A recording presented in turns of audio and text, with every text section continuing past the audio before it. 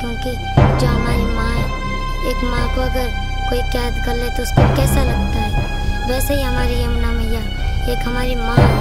उनको कैद कर ले तो हम लोगों को बहुत पीड़ा होती है। तो हमको उनको बचाने के लिए हम ज़रूर जाएँगे उनको लेके आएँगे।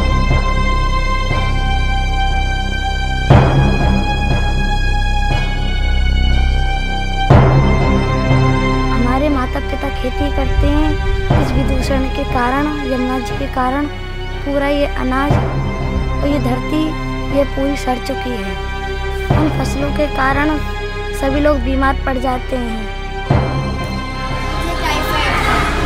मुझे यहाँ पे दर्द है और बुखार है। हमारे घर के किसान हैं सब गौ सेवा करते हैं खेती में काम करते हैं। ये जो गाय है, हमें अभी पता चला है कि किसी किसान भाई ने आके अभी बताया कि यमुना जी का विषैला पानी पीकर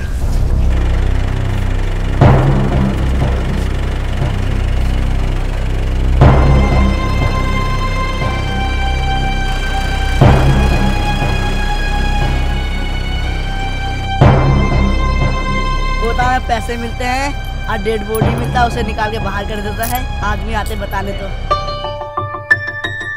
मुझे बहुत दुख होता है यमुना मैया ऐसे आ रही है। हम अम्बेर जी को भजन करना चाहते हैं और यमुना जी को लाना चाहते हम दिल्ली जा रहे हैं और पद यात्रा करते जाएँगे और वहाँ पे दस तारीख को हम यमुना जी के लिए हम वहाँ पे जाएँगे। अगर वो नहीं छोड़ेंगे तो हम अनशन पे बैठने को भी तैयार हैं। हम मरने के लिए भी तैयार हैं।